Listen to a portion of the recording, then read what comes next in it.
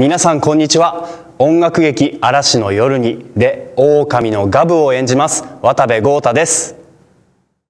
私が演じる、えー、狼のガブという役は根が優しいと言いますか狼って群れで生きてる生き物なのにもかかわらず仲間とも打ち解けられない場面があったりとかしてある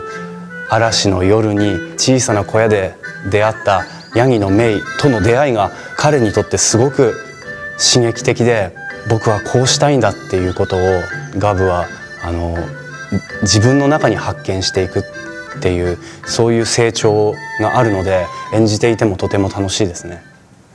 あの一昨年はスタッフそして、えーと、仲間たちとみんなでゼロから立ち上げてもうすごくみんなで研究してもうちょっと手をこうした方がいいね足を上げた方がいいよねとか言ってみんなで作り上げたその経験からのスタートだからもうより良くなることしか、うん、ないと思います。初めてお芝居を見る子どもたちもたくさんいらっしゃると思うんですけれどもこれを機にあお芝居ってこんなに面白いんだって思ってくれたら、うん、こんなに嬉しいことはないですね。嵐の夜に、えー、たくさんの子どもたちに見に来てほしいです。舞台を見たことがない子たちもぜひガブとメイの物語を目撃しに来てください。劇場で待ってます。